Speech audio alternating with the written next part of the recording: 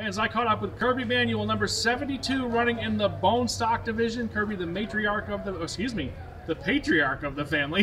I'm not trying to call you out here, but uh, got some family stuff this weekend. You guys, uh, you're running, your daughter's running, your son's running. Is that Yep, right? all three of us. Trying to get a family sweep across a couple of classes. That'd be nice. Tell us about this bone stock ride. It's just another easy build, something easy to get into. So pretty straightforward, Yep, quick and dirty. hopefully. I see you got uh, guard speech up on the roof sign. Does that help you out a little bit? Uh, Oh, having yeah. some good power plant under the hood. Guard's always good. What is the key for the fans that are sitting in the stands? They're seeing a lot of different classes this weekend.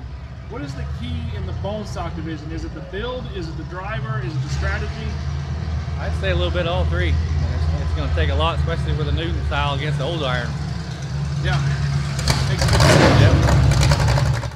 So your daughter Carson's running in the youth division. Yes, sir. You're not riding with her. Nope. Got a friend help helping. Was that uh, kind of by design or just because of the way things are working out with her? Just made it easier. Yeah. Have somebody help. Are you nervous for her? Always. Yeah. She said she's been driving about a year. Yeah. So uh, I assume you know you guys have been doing this a long time. Yep. She's growing up in the sport. Yep. So as a dad, how are you feeling? Not only your own jitters, but for your kids. Makes double nervous. Kirby, we uh, we appreciate you making time for us today. Yep.